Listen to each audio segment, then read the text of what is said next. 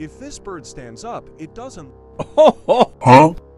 If this bird right here is making this posture towards you when you walk up to it, that does not mean that it's waiting for you or that it likes you.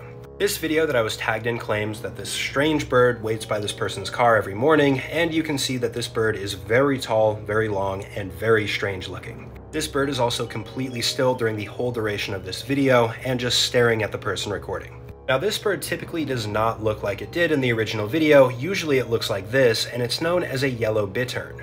These guys are solitary hunters. They walk around slowly, trying to catch aquatic creatures. However, when they're threatened, they do something known as the bittern posture. And this posture is meant to deter anything that is walking towards it that it feels threatened by, i.e. the person recording walking towards their car. Fortunately though, the yellow bittern is not a very aggressive creature, and if you walked towards it a little bit more, it would probably just fly off.